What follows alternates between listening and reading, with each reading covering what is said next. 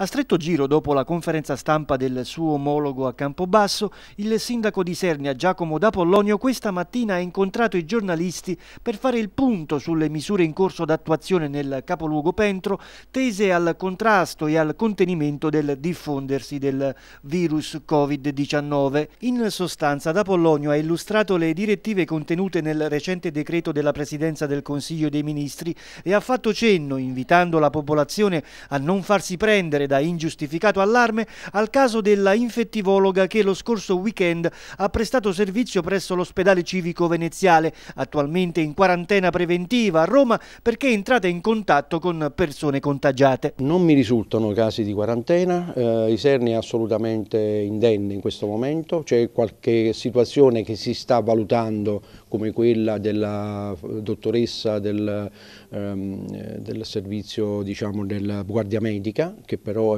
veniva, eh, era una turnista solo nei, nei giorni eh, festivi, eh, quindi si sta ricostruendo questo. Stamattina ho chiesto aggiornamenti, non ce ne sono ancora, quindi insomma la situazione sembra assolutamente sotto controllo, aspettiamo con ansia di avere anche ulteriori indicazioni, però eh, credo che... Mh,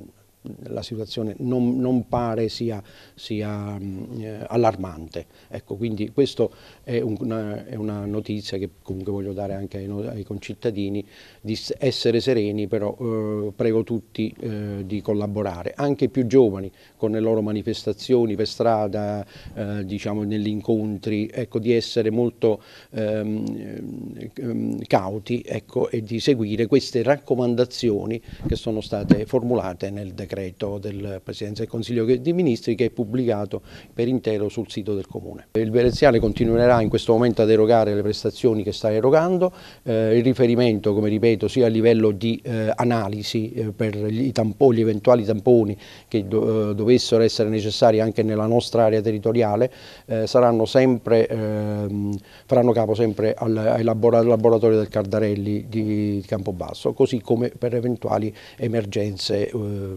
ehm, a, meno che, ehm, a, meno che, non ci siano nuove disposizioni, ripeto la situazione è in continua evoluzione, in questo momento la situazione è questa.